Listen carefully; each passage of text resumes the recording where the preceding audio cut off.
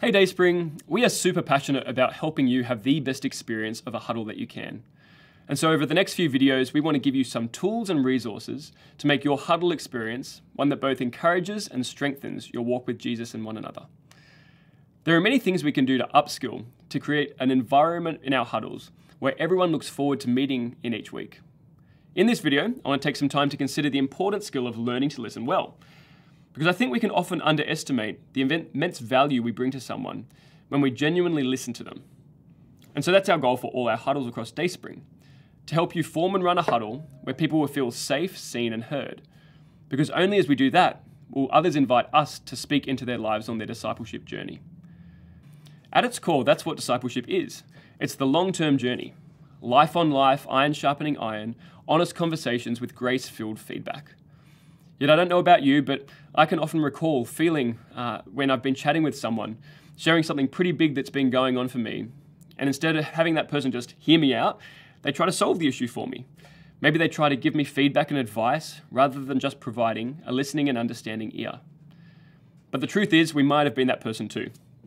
Uh, we do it because we actually have a desire to help someone get through their situation or struggle and come out the other side. Uh, yet, so often, when someone is first sharing something of their journey with us, this is the last thing they need, uh, or more likely want. Uh, well, luckily, Scripture encourages us in James 1:19 to be quick to listen and slow to speak. The good news for us is that listening is a skill that can be learnt and is something we are able to continually improve upon. So, as we look to become better listeners, I want to share two heart postures we'd encourage you to come to your huddle with. So, firstly, listen empathetically with the intent to learn rather than give advice. So often people just want to know that they have been seen and heard. They aren't looking for answers, but for a friend to hear them out. To just quietly listen and engage with their story and what is going on for them in that moment. So when we're in our huddles, let's adopt an attitude of, I am present, here to listen and learn about this person and what is affecting them right now. Empathy looks like learning to feel along with the other person and what they're feeling and expressing. It can at times be easy to dismiss how someone is feeling, especially when we disagree. But even then, as someone is sharing something that is very real, let's try to engage and listen from their perspective to show that we're engaged and genuinely care about them and whatever they're sharing about. Secondly, let's listen without judgment. In our huddles, when people feel safe, it will look like them being totally free to bring all of themselves to the table, free to share their joys, but also the harder parts of their life. They're only going to share to the degree that they feel safe to do so. One way this is going to happen uh, is if they know they can share without receiving judgment from others. None of us are perfect, and we've all made choices at times that have had negative consequences on either ourselves uh, or those around us. Uh, so, in those moments when people share information that for them is often quite raw and sensitive, let's be people who withhold our judgments. Let's not be critical or condemning, but rather accept people's story for what it is and accept them for wherever they are on their discipleship journey. Change and transformation comes with time, but our primary job at first is to be a safe group of people with whom they can trust and confide in.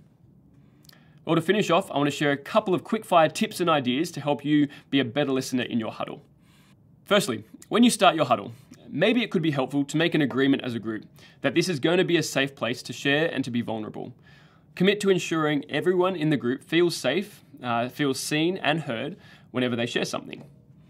Secondly, on a practical level, uh, give the person who's sharing your undivided attention. Show them you value and care for them by the way that you focus on them in that moment. And see, as you do, also try your best to make sure your manner matches what is being shared. For example, you know, if someone's sharing something that's really personal or making them sad or angry, laughing probably isn't the best option at that point. We want to make our mood match the mood of the room. Thirdly, let people finish verbalizing their thoughts. We know how frustrating it can be at times when, you know, someone interrupts us while we're speaking. So let people finish before jumping in. But if you are going to say something, maybe consider asking some more open ended questions uh, with the intent to discover and learn rather than giving an answer right away. See, part of the process of understanding might also look like restating back to them what they have said to show you're trying your best to engage and understand how they think or feel about whatever it is they're talking about. And finally, uh, let's keep an open mind. See, everyone is on a different stage of their journey. There is no clone of you, there is no clone of me. What areas of growth may be quick for you might be a long term process for someone else, with many ups and downs along the way. But in the midst of all that, we need each other, which is why we huddle. So as we begin our huddles, let's be present, let's be attentive, let's be available for each other as we begin doing life together.